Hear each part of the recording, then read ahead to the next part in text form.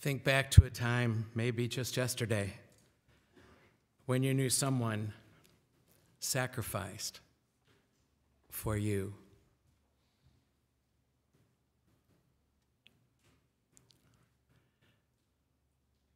And when was the last time you can say with all honesty that you sacrificed something for someone or for something bigger than even yourself?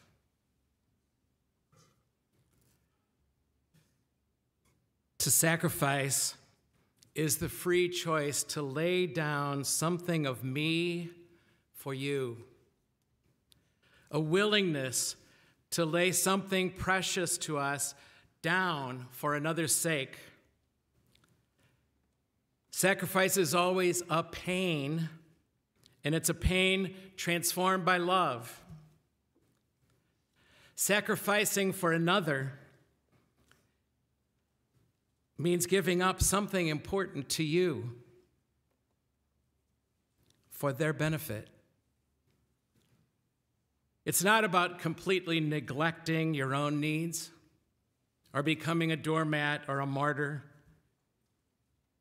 but recognizing, recognizing situations where prioritizing someone else's needs is just the right thing to do.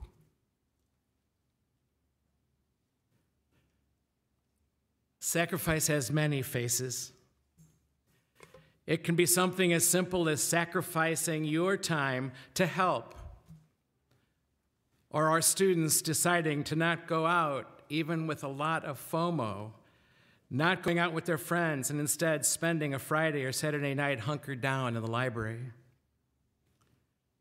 You who go out of your way to recycle, to pick up litter, or maybe of our community spending a Saturday planting daffodils last fall that recently bloomed all along Highway 64.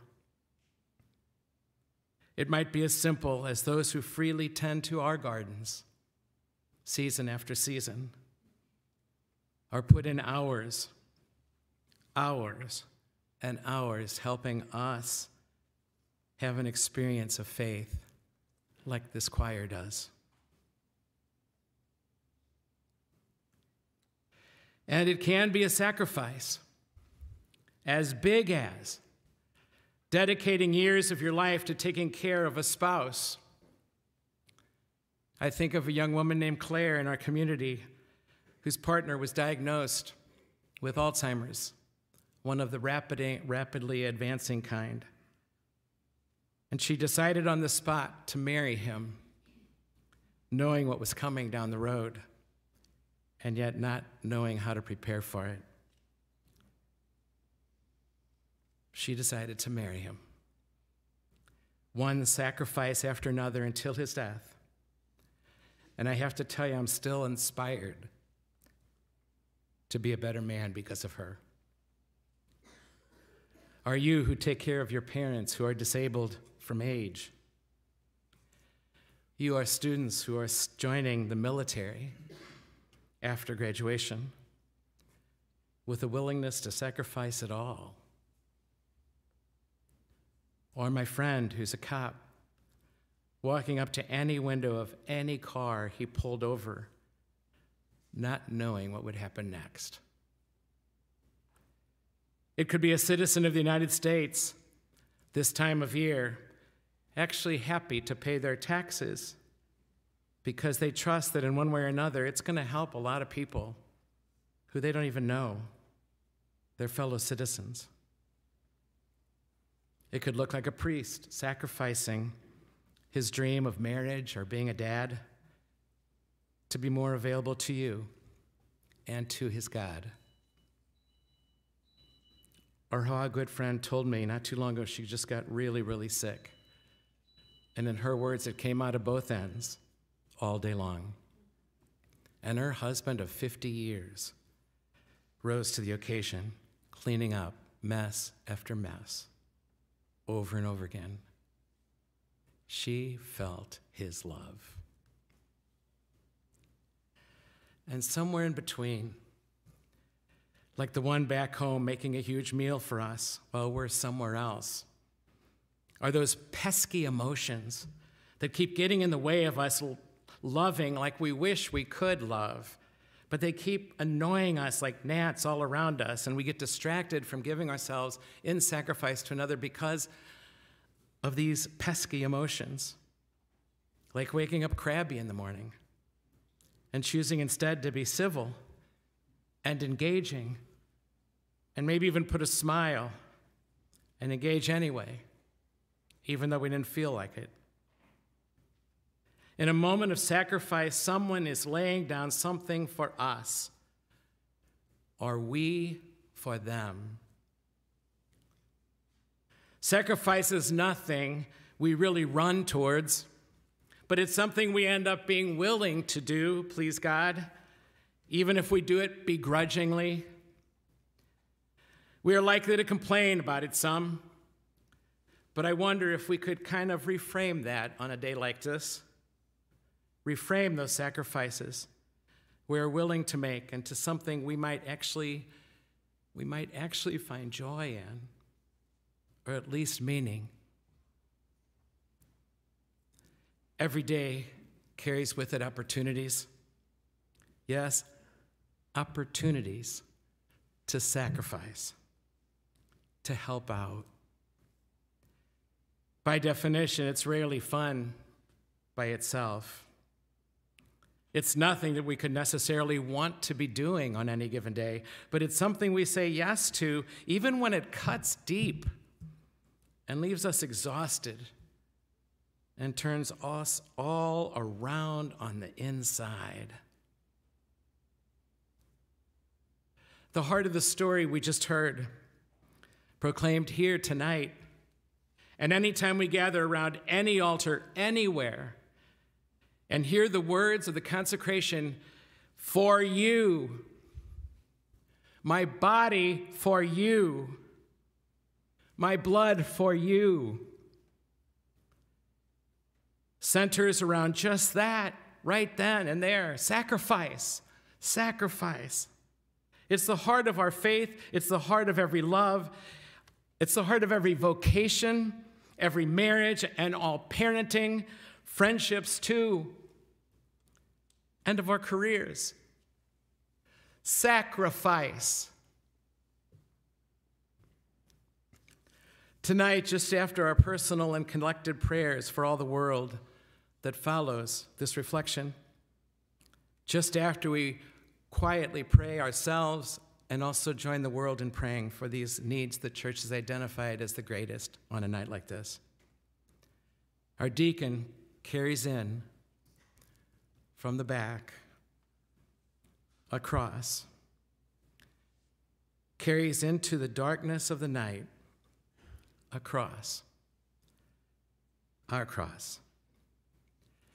And he holds it high and chants, Behold, behold, behold, behold the wood of the cross. And that wood cross takes its place right in our midst for us and we will each have a chance to reverence it however we choose, especially going on after the ceremony tonight. I hope you can stay. It's a powerful thing to watch. At the center of it all, our totem, our cross, a powerful symbol, his sacrifice his bloody sacrifice that ended in death. But it was such a perfect sacrifice, so perfect actually, that the whole world has been reordered around it.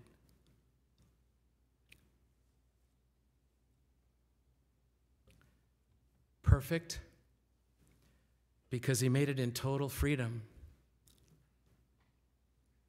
total freedom to say yes or no. He didn't have to do that. He was totally free to say yes or no.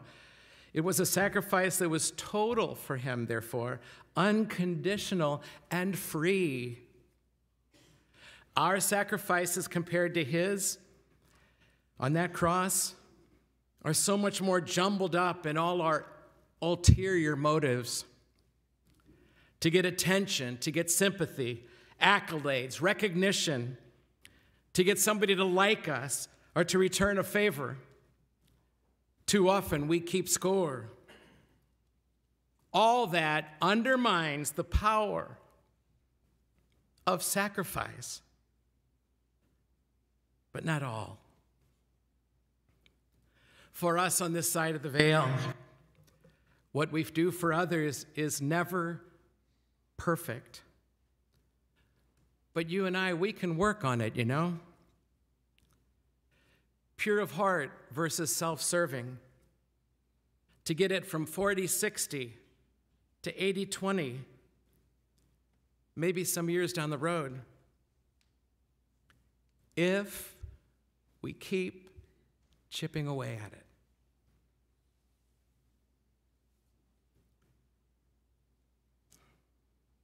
the more my sacrifices for love, for the betterment of another, the more wholehearted in it I will be and free. The more that sacrifice is united with and aligned with the sacrifice of Christ on the cross, the freer I get along the way. It's like it is happening again, that cross for us. Sacrifice that changed the world. That centerpiece of Good Friday is sacrifice. It's what brings home to us the power of Jesus' love. Sacrifice always does. It always brings home to us how much we are loved. The symbol of the cross is a call to sacrifice and sacrifice freely and joyfully for another's sake. We squirm a bit when others go out of their way for us. It can make us awfully uncomfortable. It is for us when we have that squirming going on. It is for us to simply receive it, let it in graciously. It seems to me that our culture is lacking in sacrifice, lacking in a sacrificial love. But sacrificial love is who we are and how we are and what we do.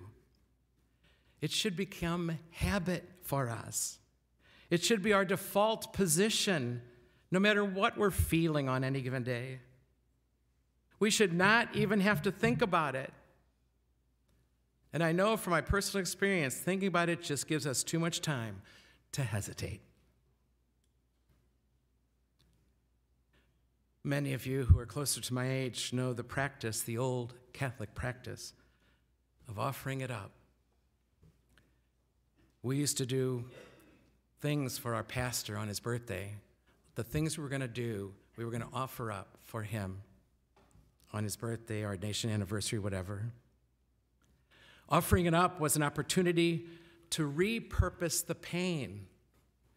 I don't know how to explain it. I don't know how to explain the efficacy of it at all but it had something to it, you know?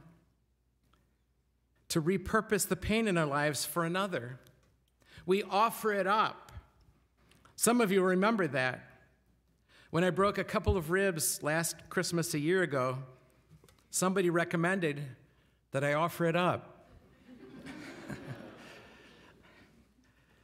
the pain that day, or even just for the next hour. I don't know how it works in the mystery of things, but I can say it gave that awful pain a purpose. And somehow it became a bit more tolerable. I recommend it to you. Doing that is a quiet and messy love. You see, Jesus not only transforms our sacrifices, he lives there in every sacrifice.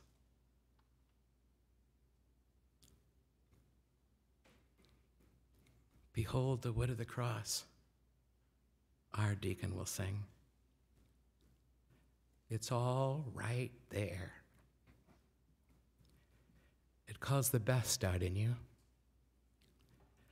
It decisively makes clear whether or not we will follow him, whether or not, in this particular circumstances, we will love. Jim, tonight, sing those words with everything you got because it's urgent, because we keep forgetting.